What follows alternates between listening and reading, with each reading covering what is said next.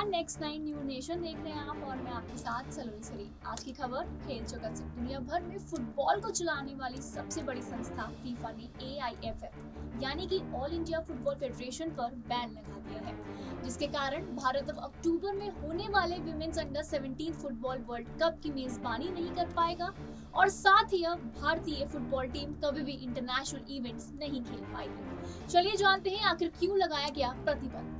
FIFA ने तीसरे पक्ष द्वारा गैर कानूनी दखल का हवाला देकर बीते सोमवार रात ये कड़ा फैसला किया।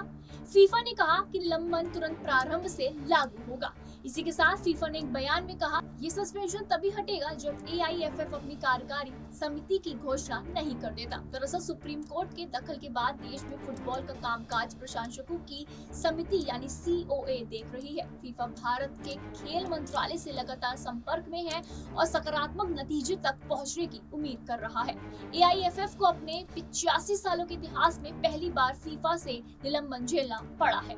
तो वहीं अब इस मामले में सुप्रीम कोर्ट भी एक्शन में आ गया है। सुनवाई करते हुए जस्टिस चंद्रचूड़ ने कहा कि देश को ज़्यादा से ज़्यादा टूर्नामेंट का फ़ायदा मिलना चाहिए, लेकिन फ़िलहाल हमारा फोकस इस मामले को सुलझाने पर है। साथ ही सुप्रीम कोर्ट ने इस मामले को सुलझाने के लिए केंद्र सरकार से भी गुहार की है और इस मामले पर अब अगली सुनवाई 22 अगस्त, यानी कि सोमवार को होनी है। आपको बता दें कि चुनाव से ये पूरा विवाद शुरू हुआ।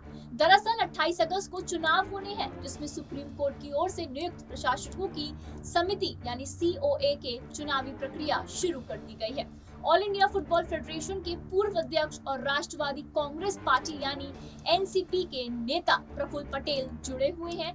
2004 में यूपीए सरकार में नागरिक उड्डयन मंत्री रहे प्रफुल्ल पटेल को 2009 में अध्यक्ष बनाया गया था। 2022 में जब तक सुप्रीम कोर्ट ने उन्हें पद से नहीं हटा दिया था, तब तक वे अध्यक्ष बने रहे। हालाँकि आपको बता दें कि भारत के स्पोर्ट कोड के अनुसार कोई भी व्यक्ति तीन बार से ज़्यादा अध्यक्ष नहीं बन सकता।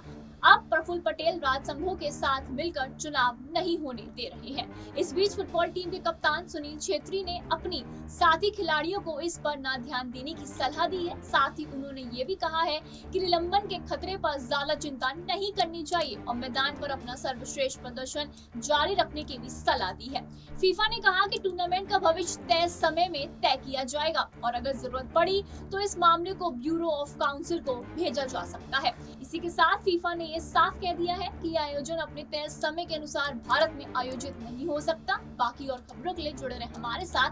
धन्यवाद।